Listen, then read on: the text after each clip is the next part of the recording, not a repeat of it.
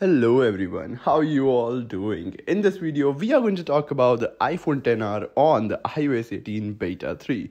My name is Jai, you are watching Tech Hyped. If you are new here, consider hitting that subscribe button because I keep on making these type of videos for you guys and I don't want you guys to miss these.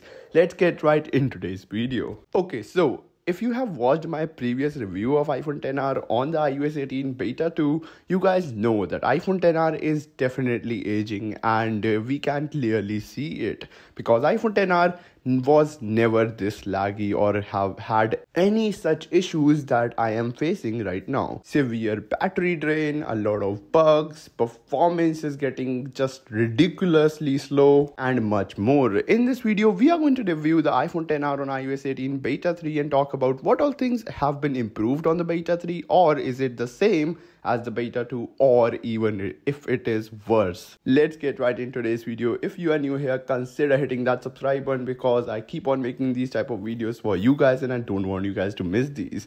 My name is Jai and you are watching Tech Hyped. Let's get right into today's video. So after installing the iOS 18 beta 3, first of all, this update came at around 2.1 GB, which is the biggest that I received on any of my phones. I don't know why, but yeah, it was really, really big. It took around one and a half hour for this update to install, which is a really long time, by the way.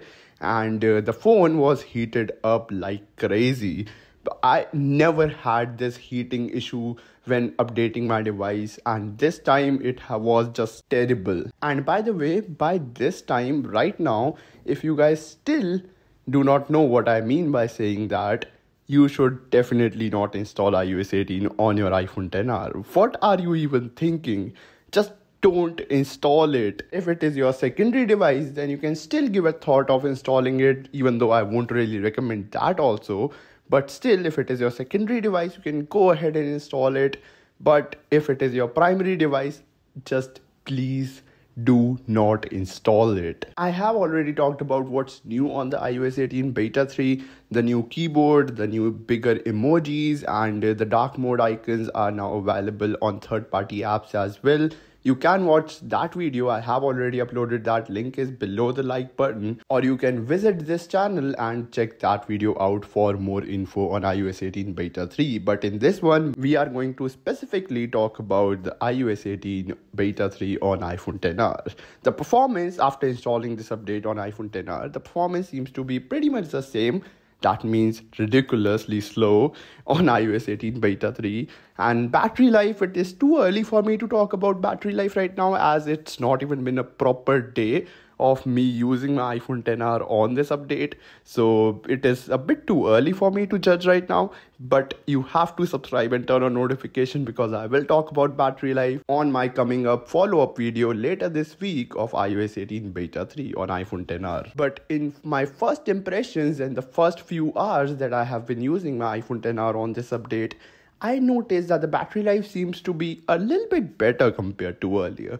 Not by a big margin, but just a tad bit better compared to earlier. Also, if you are short on storage after installing this update, I got a whopping 500 MBs back. I, know, I, I'm just making it seem like it is a lot, but it is not. But yeah, it is better than just taking more storage on your device, right?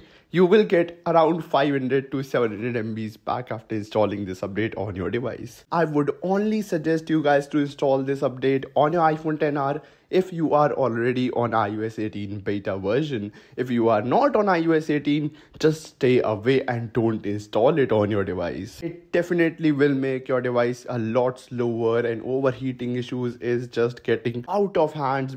By that I really mean out of hands. You can't properly hold your device because it is so hot. In conclusion, the iOS 18 beta 3 seems to be a pretty nice update in terms of stability and bug fixes. There are a lot of bug fixes on this update but in general the performance and all seems to be pretty much the same so don't really have high hopes from it. Anyways thank you so much for watching this video till the end please make sure to hit that subscribe button because I keep on making these type of reviews for you guys and I don't want you guys to miss these. Let me know down in comments below are you using an iPhone XR and if you are using your iPhone XR what version of iOS are you using and if you are using iOS 18 what all issues and things are you encountering I will love to talk about it and next video I will make sure to mention your comment in that video. Peace out and have a great day everyone and I will catch you guys in the very next episode.